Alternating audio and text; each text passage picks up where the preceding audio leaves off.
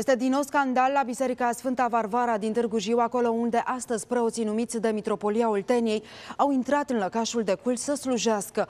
Enoriașii s-au opus și au chemat poliția și jandarmii. ce drept? Cine spart? Cu ce drept? Auziți, care e încrederea lui Dumnezeu pe care o mai avem în dumneavoastră în pop? Care mai este? Lasă Când domnul intrați Câmpeanu, prin infracție, mai rău decât un vot.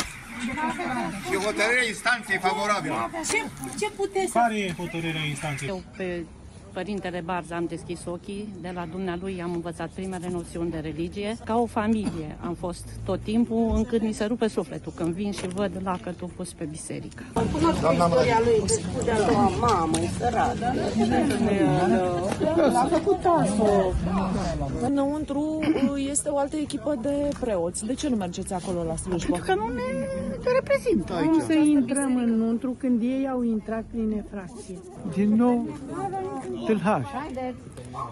Ne pregăteam să începem Sfânta Liturghie la mine acasă și am fost anunțat că în biserica noastră e uh, lumina aprinsă. Și atunci am înțeles că ne-au călcat tâlharii.